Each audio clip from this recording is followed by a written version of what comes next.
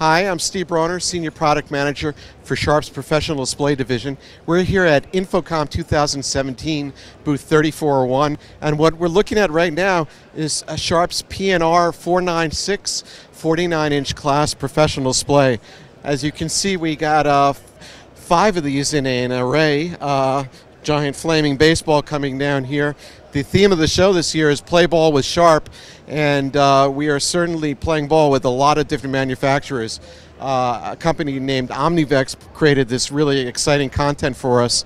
What's unique about the PNR series is that these models can be installed face up, face down, or any angle in between, and that's why we're showing these in all these different configurations. Additionally, these models can be uh, hung on wires and they can be installed in landscape or portrait mode. And they have what we call the uh, mini OPS slot, which is in a uh, slot that you can install an expansion board where you can put an HDBaseT card or other devices in. If you'd like to find out more information about the PNR series or any other Sharp model, please visit us on the web at www.sharpusa.com forward slash monitors. And I'm Steve Broner for Sharp. Thanks.